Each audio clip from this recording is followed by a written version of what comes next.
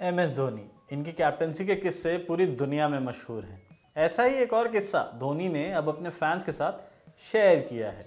धोनी ने यह भी बताया कि अगर उन्हें पूर्व पाकिस्तानी क्रिकेटर और कैप्टन इंजमामुल हक के साथ दौड़ना होता तो वो क्या करते? दरअसल धोनी विकेट्स के बीच अपनी रनिंग के लिए बहुत फ़ेमस थे, जबकि इंजी भाई के लिए ठीक उल्टा था। धोनी ने एक इवेंट में कहा कि अगर हर किसी को एक टीम प्लेयर होना चाहिए, और अपने टीममेट्स की ताकत और कमजोरियाँ समझनी चाहिए।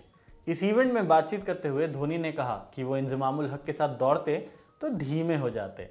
धोनी ने इस सवाल पर हँसते हुए कहा, अगर मैं इंजी भाई के साथ दौड़ता तो मैं अपनी स्पीड कम कर लेता। अगर मैं अपनी स्पीड कम नहीं करता तो 100 परसेंट रन आउट होता। धोनी ने इसी बातचीत में आगे बताया कि एक बार उनकी एक टीम मीटिंग माइनस एक मिनट में ख़त्म हो गई। कैसे? ये धोनी खुद बताएँगे। जी हाँ यानी एक मिनट से भी कम में मीटिंग डन एंड डस्टेड हो गई। ये वाकया दरअसल चेन्नई सुपर किंग्स के एक मैच के दौरान हुआ। धोनी अपनी टीम मीटिंग्स आमतौर पर छोटी ही रखना पसंद करते थे। ये बात जग ज़ाहिर है।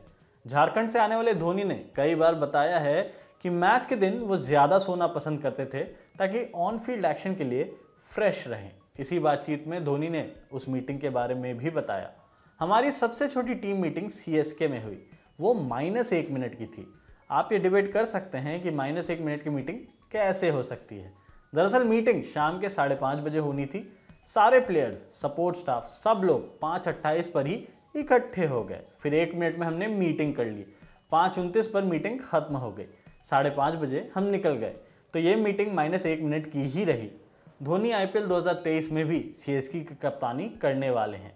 धोनी ने अंतर्राष्ट्रीय क्रिकेट से अगस्त 2020 में संन्यास ले लिया था। उसके बाद से वो सिर्फ़ आईपीएल खेल रहे हैं। नमस्कार, मेरा नाम है पुनीत, कैमरे के पीछे हैं जीत, और ये खबर आप ललन टॉप स्पोर्ट्स पर देख रहे हैं। यहाँ हम आपको क्रिकेट और बाकी सारे स्पोर्ट्स से जुड़ी सारी बड़ी खबरें लगातार पहुँचाते रहते हैं।